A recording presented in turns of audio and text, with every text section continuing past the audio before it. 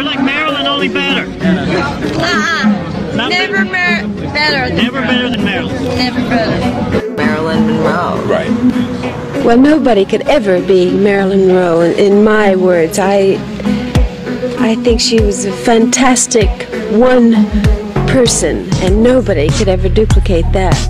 When I was, you know, growing up, she was like the icon of women. How do you not You know? love Marilyn Yeah. Monroe? She knew in the 50s, when very few of us did, that the answer to her happiness wasn't out there. It wasn't in furs, it wasn't in a mink, it wasn't in fame. It was inside. She was a beautiful woman. whose image, vitality, and beauty are still with us long after her death. She is Marilyn Monroe, of course. Was a very gutsy, courageous lady. She she made that journey inward, which is dangerous. She, if you think, she stood up before women's the women's movement. She broke away from a Hollywood studio. She stood up to the McCarthy Committee. Marilyn Monroe will be with us for a long, long time.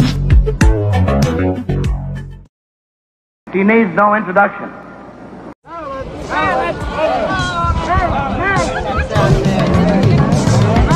The most famous star in Hollywood history is Marilyn Monroe. She's Marilyn Monroe. Marilyn Monroe. She was Hollywood's biggest star and has become its greatest legend.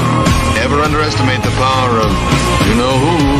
Marilyn Monroe is what dreams are made of. Marilyn Monroe. They've tried to manufacture other Marilyn Monroes, but it won't work. She was an original. I wonder if I'm scared of you. Are most men scared of you? I'm not sure whether I should be frightened of you or not. No, nobody's scared of me. I don't know. I, I bet a lot of guys are scared of you. A queen in her own realm of entertainment, she was the only woman known the world over by her two initials. Marilyn Monroe was found dead in bed.